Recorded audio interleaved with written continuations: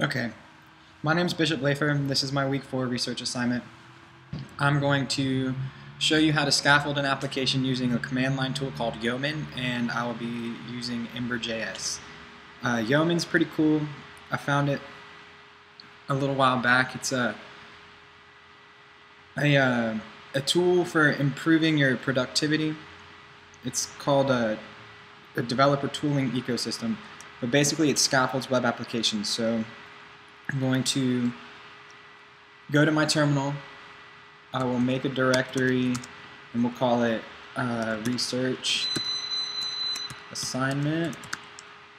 And then I also want to go into that directory once it's created.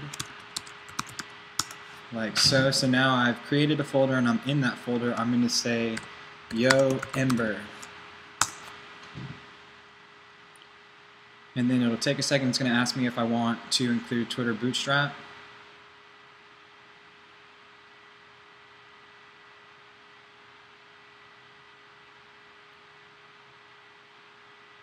Yes, I do.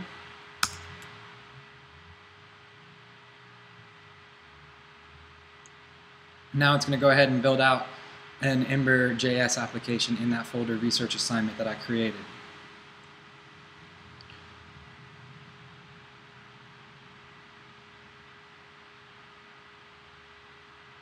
So we'll let that run. Yeoman's pretty cool. It's actually, it's got a generator not just for Ember.js, but also for Backbone.js, AngularJS, and along with a bunch of others. Any of these in the Discovering Generators page, any of these with the mustache is, means it's a an official generator and is uh, supported by the Yeoman team. See, see there's one for Backbone and Ember in here. AngularJS being the most popular. I think Yeoman was created by a group of developers who work for Google. Um, it's it's really cool though. See where it's at. It's still running. It takes a minute. Um, it's it works in hand in hand with a uh, with Grunt, which is a, a, build system, as well as package managers like npm or Bower, and uh, it allows you to Grunt runs will run a server, a local server, so that you can build your application and test it, make live changes, and it uh, automatically updates when you save changes to your files. It's pretty cool. And then the package manager, or Grunt will also build out your distribution file and include any dependencies. It's a really, really useful tool. Okay, looks like it's finishing up. Not quite there yet, but almost. Okay, there we go. So what that did was it created a folder called research assignment. So let's go find that. Here it is. All right, this is what it built. In within the app folder is where all of the uh, application files are. I'll go ahead and open this up with Sublime Text and show you what we got. Add a folder to the project so we can see everything. Just go ahead and open the app folder. Okay, so what we got is it built out a HTML5 index file with all of our dependencies for our plugins, Bootstrap, and then these are all of our jQuery and handlebar dependencies. And then within here, we've got controllers within our scripts, models, routes. There should be a default route. Go ahead and um, come back to the terminal and I'll do a grunt serve and that will start the local server and open it up open up the application in my internet browser. So we'll let that go ahead and run real quick.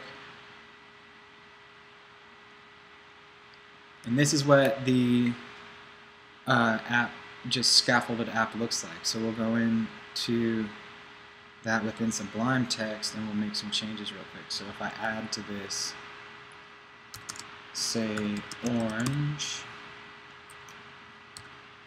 and green and yellow. Like so. Um, I haven't made a save yet. Let's shrink this real quick and see if it updates automatically when I save it Yep, see? And then all of our new colors are right there. Pretty cool. So it, it puts a watch on all of your on this folder, so anything in this folder, if you make a change and save it, it automatically updates. It comes with a route in a store for local storage. It's pretty cool. It also has a generator, Yeoman also has a generator for um, Angular, which is really cool as well.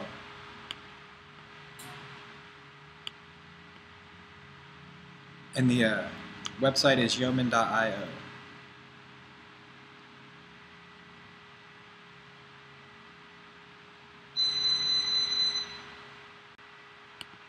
Thank you very much.